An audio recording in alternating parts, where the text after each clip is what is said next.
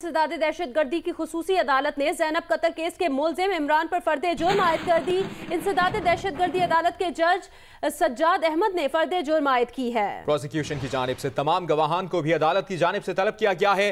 Lahore high court के chief justice ने सात रोज में ट्रायल मुकम्मल करने के अहकाम सादिर कर रखे हैं।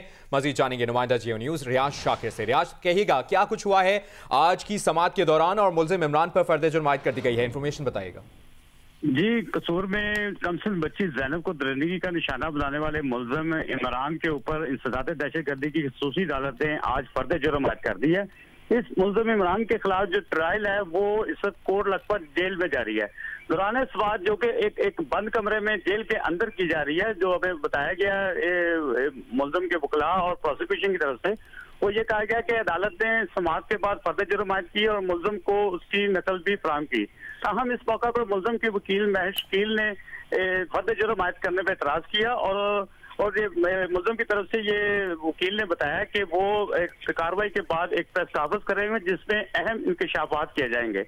अदालत ने अपनी कार्रवाई मुकम्मल करते हुए फर्द जुर्म आयद करने के बाद इस्तगासा के गवाहों को कल तलब कर लिया है।